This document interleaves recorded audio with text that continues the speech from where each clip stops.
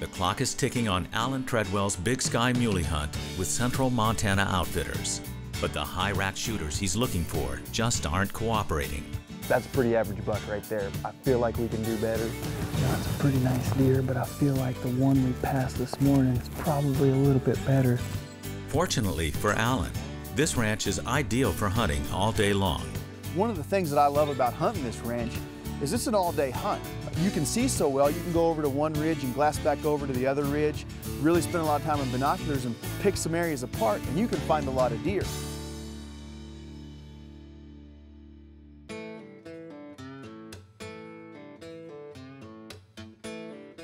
Soon enough, ranch owner Dale Younkin spots a buck that Allen might want to take a shot at. The wind's quartering, I mean, right to him, just it's, it's just quartering just past him, and I think we're gonna be all right. And once we get up there, we start looking, and there's a, there's a couple of does over there. The big buck's nowhere to be found, and then look up, and you can catch him just coming out the backside down there about a thousand yards. Is that him coming out that backside? Yeah. He must have been high enough that he caught our wind or something and got out of there before we got back. I'm sure he had caught our wind because he, is, he was bedded higher up on the mountain.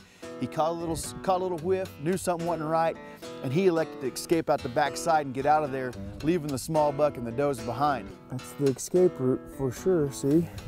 Yep, headed the same direction. Yep. That's the reason those big boys get big. You know, they don't stick around to ask questions, where a smaller, younger animal uh, will say, hey, I think something smells funny. I don't know really what's going on. And they'll stick around to find out what's going on. Those big boys, they catch a whiff, they're gone and won't give you a chance. I guess that sorry sucker must have winded us. He was a little higher up on the mountain than Mother too. I don't know if he if he caught our wind or caught you up here or something when you spotted him. You're not gonna make every stock work. Something's gonna go wrong, you know, part of the time. So the more at-bats you have, the more time you spend out there, the more stocks you make, the closer you are to being successful. And that's what we're doing. We're out there, we're working hard, we're seeing deer, we're passing up bucks. Um, you know, we're slipping in on buck we think we could kill and he's winning us and leaving. And everything's, you know, kind of going to plan, really. It's just a matter of time before it's all going to come together. Meanwhile, a nice variety of wildlife keeps Allen and Dale alert and optimistic. There's a real nice antelope buck right down here with a couple of does. You talk about a game-rich environment, you really never know what you're going to come across. And, you know, we were one day sitting there looking at a real nice buck bedded down and catch this antelope coming down the bottom with a couple of does. And I'll tell you what, if I could have traded in my buck tag for a for an antelope buck tag, I'd have done it in a heartbeat. You know, that's the thing about it. You just never know. You know, I worked over this ridge thinking I might see a good muley down there and ran into an exceptional antelope buck down there with a couple of does. Made me wish I was out here a month or so ago with the antelope tag in my pocket. With time dwindling fast on this hunt, Allen's feeling a few regrets. You know, it's getting late in the hunt. We've had several at bats. I've passed some really good deer, and I'm starting to get a little bit worried. Now we're gonna have to get creative and look at some places that we haven't thought to look. And Dale says, I got the perfect place. He said, it's down in the bottom. There's no way to get in there. You're gonna have to glass it from a mile away. A typical setup on this ranch is to spot them from far off and be able to get around them and uh, just get in on them like that. So we come up and we're sitting up on this knoll, glassing up in this bottom, seeing a few deer, and Dale goes, hey, I got a buck. I got one up there by that clay bank, just off that pinnacle. I start looking, I get the get the spot and scope, and I look, and I'm like, Dale, that's a that's a that's a pretty good buck. Oh yeah, he's at least a four by four. He's got forks and some pretty good fronts. Look in there and see what you think. He looks in the spotting scope and he's like, hey, I think we need to get closer to this guy and take a look at him. Yeah, it's a nice buck, Allen. I think we need to give him a try. Dale knew that we could get around the backside of this this buck and come over this face that he was that he was laying on and be right over the top of him at 50 yards. That was the plan. All right, let's Well, go. We can give it a try. Good spot, bud.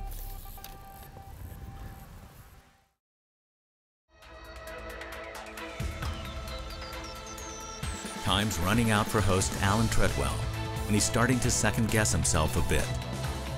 You know, it's getting late in the hunt. We've had several at bats. I've passed some really good deer, and I'm starting to get a little bit worried. A little crunch time glassing turns up a big buck a mile off, and the final stalk is on. Yeah, it's a nice buck, Allen. I think we need to give him a try.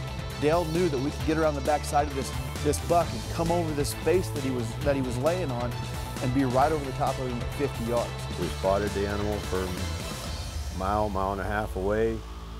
We were able to get around the back side of the animal. It was just a really good setup.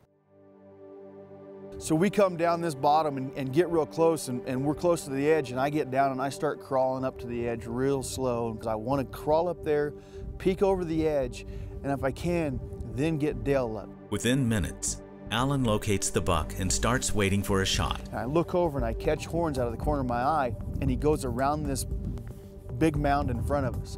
So I get Dale up there. Hey Dale, come on up. I seen him go around the, the bottom down there. We're starting looking. I think the buck's gonna come out the other side of it and he just doesn't come out. We lay there and we wait, wait for him to come out. We wait for him to come out. and We never see the deer. We're 30 minutes into it and then we're 45 minutes into it. And now I'm starting to second guess myself. And all of a sudden the wind shifted just a little bit and I felt it hit me in the back of the neck and deer started standing up below us. Right there, right there, coming up that other hillside. We'd laid there so long that uh, we were ready for something to happen. And, and, when that buck come out, you know, we were on top of it. I had the gun on the pack, ready for the shot.